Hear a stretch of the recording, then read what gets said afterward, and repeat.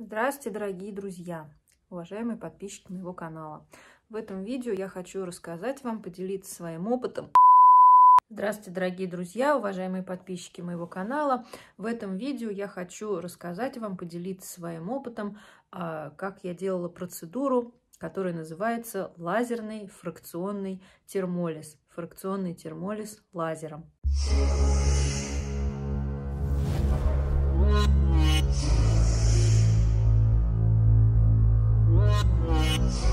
Так, друзья, я снимаю в комнате, в которой еще у нас не закончен ремонт, но здесь я сижу прямо лицом к окну, чтобы очень хорошо падал свет и чтобы вы смогли во всех деталях а, разглядеть и, собственно, понять, если вы не знакомы с этой процедурой, если вы никогда не делали, то я вам сейчас все расскажу. Вот такой отек а, после этого кожа просто горит. Косметолог сам настраивает мощность лазера, то есть, видимо, а, судит по типу вашего лица. Вот, и эм, этой насадочкой возит э, вам по лицу. Сама процедура длится чуть менее часа. А, она довольно долгая, потому что там по нескольку раз простреливаются одни и те же места, а все-все-все лицо вплоть вот до этих мест и вплоть вот до этих вот мест. Эта процедура призвана подтянуть овал лица, а, убрать мимические морщины, убрать купероз, убрать красноту вашего лица, а, сделать кожу лица ровным а, и красивой. И, как мне говорили, что после этой процедуры пациентки буквально, ну, просто пищат от восторга, настолько великолепная кожа. Это процедура болезненная, сразу скажу. Даже перед ней а, делают анестезию, лицо мажут специальным кремом, чтобы у вас тут немножечко занемело все это дело. Вот, но все равно чувствуется, все равно больно, потому что лазером простреливается везде, и даже самые ужасные места это вот здесь, ужасно вот здесь больно на щеках, и даже вот здесь. Вот здесь, друзья, под глазами и над глазами тоже все это прочикивается. Очень больно. Ну, конечно же, вытерпеть можно. Естественно, там матом не кроешь, да, не лежишь. Но больно прям просто капец. Э, практически уже там думаешь, господи, когда все это кончится. Ощущения э, от действия лазера такие, что в этой насадке как будто есть игла. Как будто. Вот. И когда вам прикладывают, эта игла начинает вам вот так вот долбить сильно-сильно-сильно, и как будто вот она вам колет. Но на самом деле это, никакой там иглы, естественно, нету. На самом деле это просто действие лазера, да, э, чем он там долбит, током каким-то, я не знаю, прожигает, в общем, само его действие, то, что он прожигает а, верхний слой кожи, и таким образом там внутри что-то офигенно стимулируется, кожа там не понимает, что с ней сделали, и на всякий случай начинает вырабатывать то, что она должна вырабатывать, там коллаген всякие, какие-то еще там, в общем, регенерировать, меняться. И за счет этого э, кожа лица вроде как должна стать лучше. И потом, когда я на себя посмотрела в зеркало, я подумала, первое, что я подумала, что вот так вот я буду выглядеть, если буду пить. Если я буду бухать, если я буду алкоголиком, то я буду выглядеть именно так. Вот так выглядит человек, который, наверное, я не знаю, пил неделю. Смотрите. Это я просто после процедуры. Лазер прожигает кожу точечно а, по всему лицу. В общем, это делается с анестезией. Вот такой отек а после этого кожа просто горит. Во время самой процедуры пахнет паленым. Сразу после процедуры вы выглядите, друзья, вот так. Просто как алкоголик. Как алкоголик. Это были кадры из моего а, очередного влога. Вот, если вы просто не смотрите мои влоги, то а, я могу вам сказать, да, что у меня на канале есть влоги, а, где я как показываю все, что я сделала. Вот, и в очередном влоге я показала результаты этого фракционного термольза. Самое ужасное, что мне нужно было сразу после этого ехать по работе. И я приехала к людям с такой рожей. Я им сразу объяснила, что не пью, просто я сделала фракционный термолиз лазером. Отек держался довольно недолго, где-то на следующий день его уже не было, но ему на смену пришла ужасная-ужасная краснота. Я ходила просто с такой красной рожей, а, как будто вот восставший из ада просто. Все это дело ужасно-ужасно болело. Сразу после процедуры, на следующий день, было такое ощущение, что лицо просто хотелось засунуть или куда-нибудь в холодильник, в морозилку, или вот так вот окунуть его в сугроб, а, смочить какой-то холодной водой, дотрагиваться до лица я очень сильно боялась, потому что мне было и больно. Было ощущение, что верхний слой кожи просто содран. Вот когда вы сгораете на солнышке, да, вот на море, да, можно очень сильно сгореть, и потом вот болит. Так вот здесь это там в несколько раз, в два раза сильнее болит, чем обычный ожог от солнца. Чем это нужно было мазать? А, она сказала мазать просто хлоргексидином, вот, э, где-то два раза в день, и обычным своим кремом, которым вы пользуетесь, да, там каждый день или на ночь. Начались какие-то появляться белые пятна. Видимо, кожа постепенно отходит от стресса полученного. Вот и такие вот пятнышки. Здесь вообще полоски.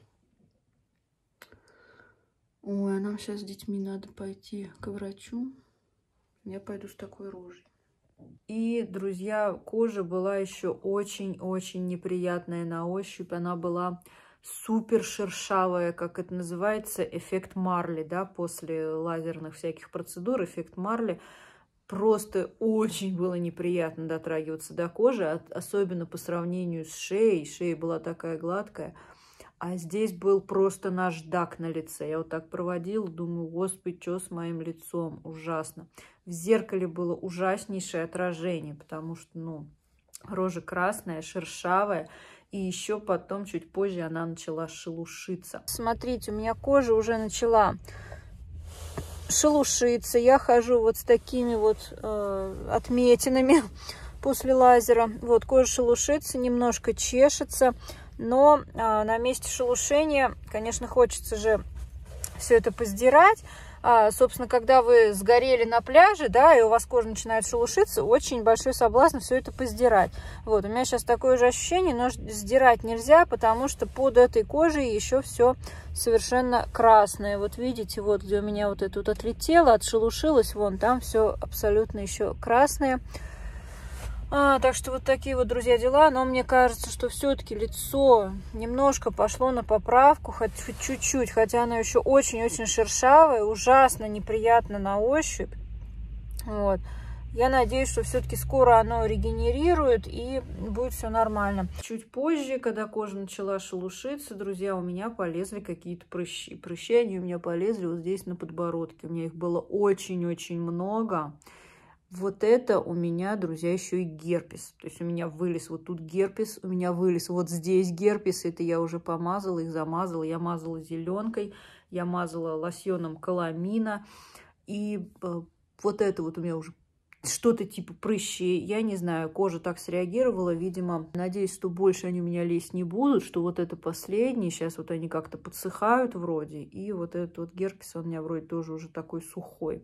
Так что вот так, друзья. Я думала, не дай бог, это будет на всем лице полезет, да, вдруг какая-то такая реакция.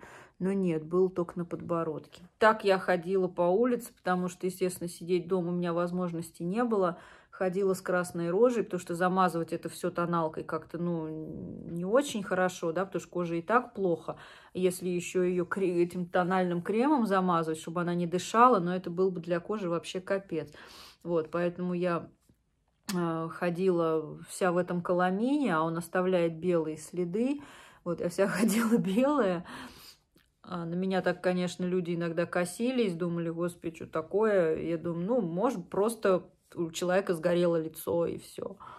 Может, в какой-то там пожар попало, да. Так длилось почти, друзья, неделю. То есть неделю лицо отходит. Вот у меня сейчас прошла а, неделя и один день.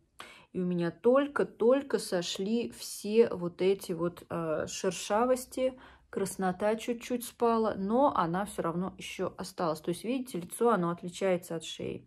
Оно у меня, в принципе, всегда отличалось, потому что у меня кожа чуть-чуть такая красноватая, и все это надо замазывать.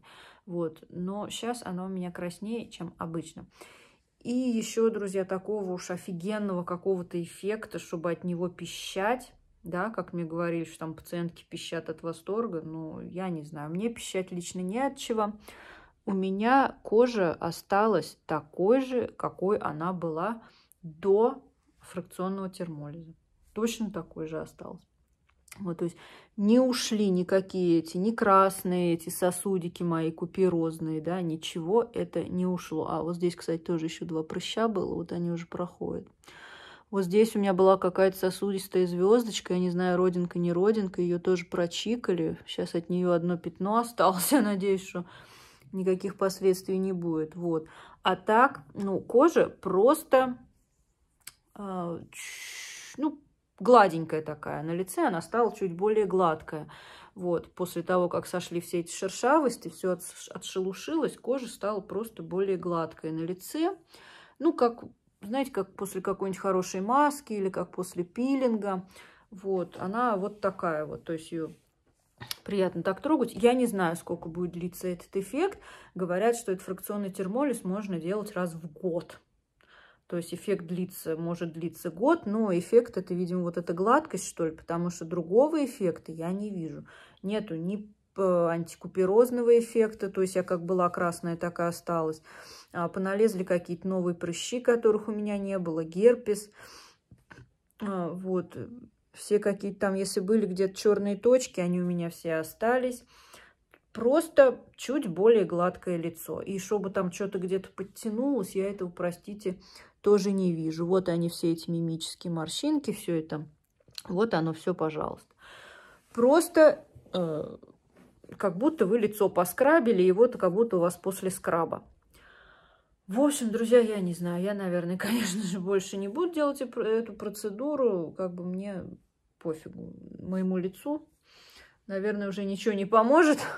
Вот, и если даже с меня содрать э, верхний слой кожи, да, под ним будет точно такой же, как, какой был и до этого. Есть еще, конечно, еще более жесткая процедура. Есть Э, как шлифовка лазером, то есть там еще глубже. Травма кожи, да, лазером, она еще глубже, еще сильнее, и там люди, я знаю, вообще сидят просто на антибиотиках несколько дней после шлифовки, все там в бинтах лицо, как после операции, вот, и ждут, когда там все заживет. Может быть, только после этого будет какой-то эффект. Ну, после фракционного термолиза, я еще раз говорю, просто гладенькая на ощупь кожа. Да, приятно там умываться, а, приятно крем какой-то наносить, потому что кожа гладкая.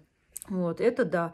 Но это знаю только я. То есть, как бы, э, я, я знаю, что у меня кожа гладкая, да, что у меня вот так вот. А визуально ничего не изменилось, абсолютно. То есть меня надо вот так вот трогать за лицо, да, чтобы понять этот эффект а, фракционного термолиза. А если просто смотреть, ну, не поймешь, что делала, что нет. Вот, еще и какая-то более красная стала. Я надеюсь, что эта краснота потом, может быть, спадет побольше. Ну, пока вот так вот. То есть, я не знаю, ну, почитала отзывы в интернете, тоже они разные. Кто-то пишет, что ну, реально это просто ты отдаешь деньги, да, ни за что, что это очередной там ход косметологии, и что, э, ну, не знаю, вот за, за то, что у меня просто вот такое вот, э, гладкое лицо, как бы ходить неделю с красной рожей, позориться, ну, сомнительное удовольствие. И не знаю, насколько это нужно. А так это считается каким-то даже омолаживающим, а, омолаживающей процедурой. Уж не знаю, там, что я тут омолодилась особо, ничего я не, не омолодилась. Все мои вот эти вот, как были, так и есть.